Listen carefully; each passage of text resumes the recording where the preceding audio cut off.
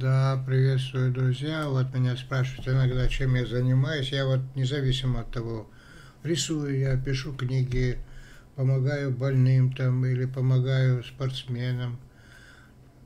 Чем бы я ни занимался, или веду школу «Человек будущего» Homo Futurus. А там у нас 186 тысяч подписчиков, люди из разных стран, и мы вместе создаем науку человечности. Я хочу вам ответить на этот вопрос, чтобы больше не повторять, чем я занимаюсь.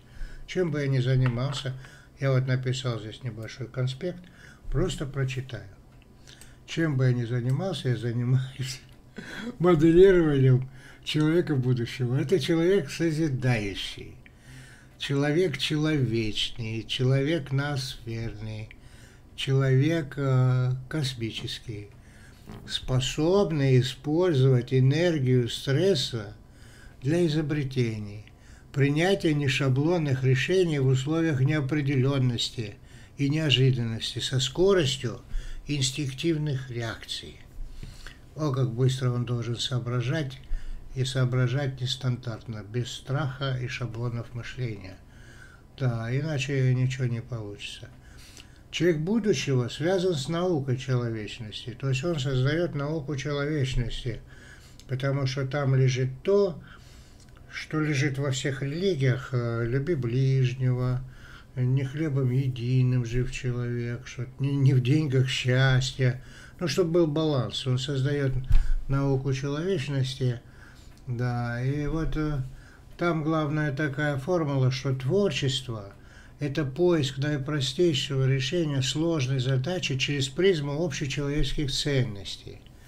Там определено, это любовь, это сопереживание, это чувство бесценности живого. Вот какую бы задачу человек не решал, да, он ищет наиболее простое решение, потому что сложным путем уже, ну и любой дурак решит.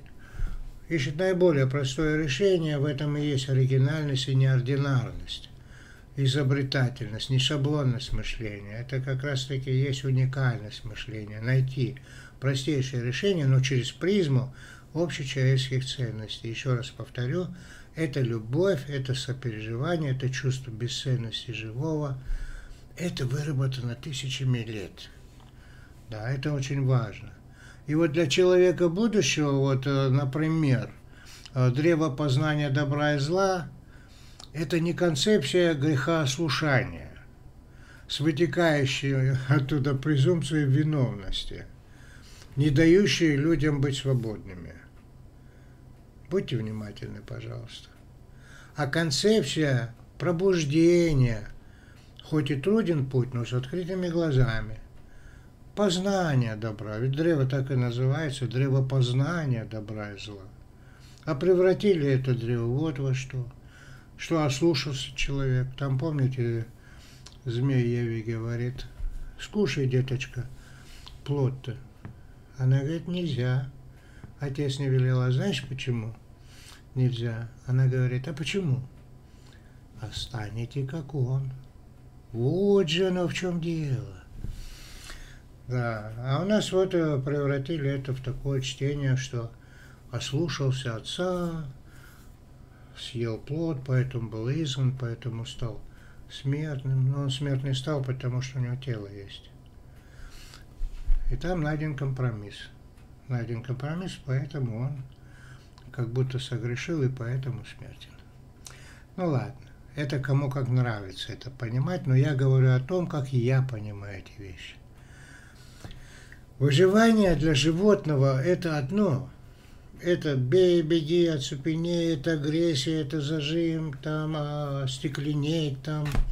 Ну, короче говоря, выживание для человека – это другое, это другой уровень совершенно. А, это через развитие, выживание через развитие. У человека есть выбор, в отличие от животных. И есть главный выбор. Это быть человеком. Это вечные человеческие ценности с вытекающей концепцией «не вреди», «люби ближнего», где ближний – каждый. Стало быть, любить это что? Это помоги, это сопереживай, будь добрым. Я работаю, чем бы я ни занимался. Картины рисую, книги пишу или чемпионов мира готовы на соревнования, неважно. Я занимаюсь работы для сокращения кризисов и войн на планете и потребностей в лекарствах. Другими словами, экологизации внешней и внутренней среды человека, чтобы сохранить разум на планете и, как говорили все, хочу, чтобы люди были здоровы и любили друг друга. Да. Вот для чего я работаю.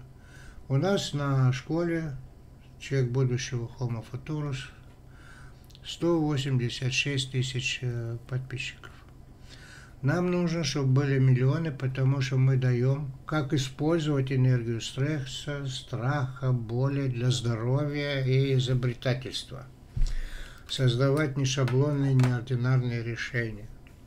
Через призму общечеловеческих ценностей, чтобы был мир внутри а, и снаружи. Да чтобы были гармоничные отношения, чтобы конфликт разрешался легко и быстро, чтобы внутренний конфликт, который создает стресс и вокруг, и внутри человека, и служит разрушению, чтобы он служил созиданию. Это очень важный момент, и человечество ищет этот баланс между первичностью духовных и материальных ценностей – потому что точно не хлебом единым жив человек, а, а, и деньгами любовь, например, не купишь. Но без денег тоже жить нельзя, и поэтому баланс нужен. И поэтому весь мир ищет этот баланс. Так вот, человек будущего – это каждый из нас. И наша задача – открывать себя. И у нас есть для этого ключ, который помогает открывать, помогает нам достигать состояние свободного сознания, состояние ощущения, что ты можешь.